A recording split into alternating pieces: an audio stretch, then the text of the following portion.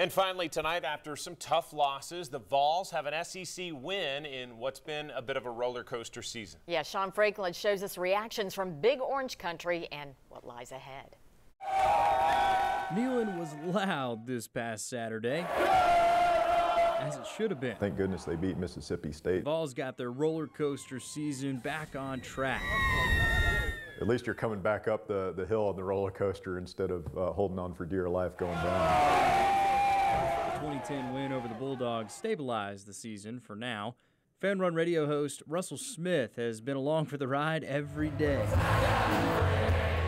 The fan base is kind of conditioned, I think, to you're hoping for the best, but you're also prepared for the worst. There's also a mixture of feelings all over social media. There's positivity from fans like Big Orange Pruitt, who believes the Vols now have a good chance to beat South Carolina. Compare that to how C. Tilson felt during the Florida game when the Vols were down 17 to nothing.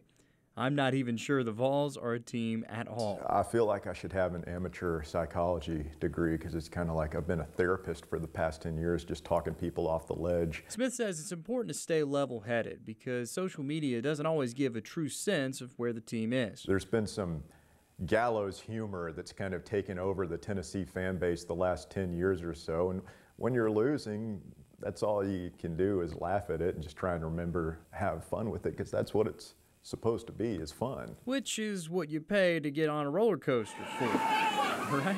If they could get to six wins in a bowl game this year, that would be a really nice end to what looked like a terrible season at the beginning.